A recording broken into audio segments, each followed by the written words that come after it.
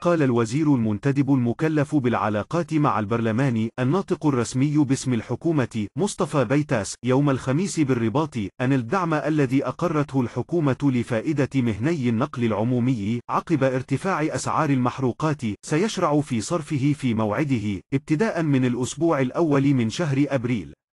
وأوضح بايتاس خلال لقاء صحفي عقب الاجتماع الأسبوعي لمجلس الحكومة أن هناك صعوبات ذات طبيعة تقنية تواجه أجرئة القرار الحكومي المتعلق بدعم مهني قطاع النقل كما هو حال كل عمليات الدعم. وأكد الوزير أن الحكومة تستمع إلى الأطراف المعنية مع رفع يثير اشتغالها بخصوص الملف في إطار الإمكانيات التي يتيحها لها القانون وستعمل على أن يصل الدعم إلى المكان الذي يجب أن يصل إليه.